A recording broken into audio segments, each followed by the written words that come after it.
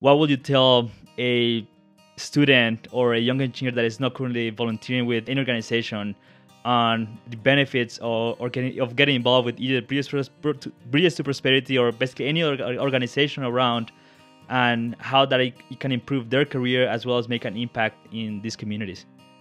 Yeah, well, um, you know, I think fortunately, I mean, and I'll touch on that, but I think I think fortunately, uh, the next generation is actually seeing that as a uh, an inherent part of their work.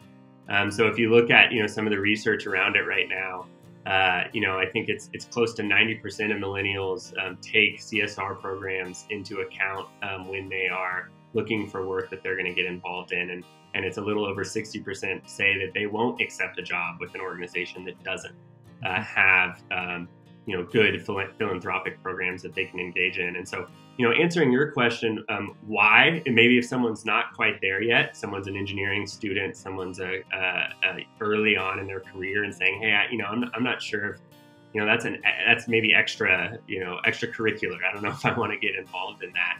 I think, uh, you know, pointing to um, the success and the fulfillment that uh, comes out of teams that do get involved in it will really show why long term it, it's going to be good for them as an as a professional, um, you know, personally, but also good for their career. Um, you know, when you're looking at working for 10, 20, 30 years, um, getting involved in something that really feels personal, really feels like you are helping to give back, gives you that fulfillment, gives you that energy. It's not going to be 95% of your day job isn't going to be supporting a nonprofit, um, and it doesn't have to be.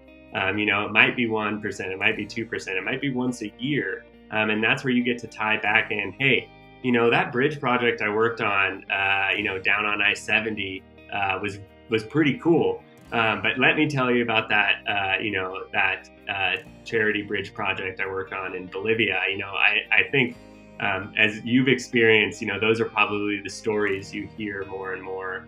Um, we've also found, you know, personally speaking from our organization, that our partners really value the people that raise their hands to do this work. Um, they really see um, the young project managers that say, hey, yeah, this sounds really cool. I want to go to Rwanda. I want to learn about their culture. Uh, I want to learn about how they build things and use that as a way to, you know, open my eyes about how construction can be different um, around the globe and take that back to their company. Um, you know, Avery and I are privileged enough to have relationships with some of the, you know, executives at, at these top companies, and they tell us directly that, hey, you know, this is a leadership program. Um, you know, we've seen some of our top employees come through, uh, you know, your program through uh, the, the partnership program, and I'm sure that's similar for for other organizations out there as well.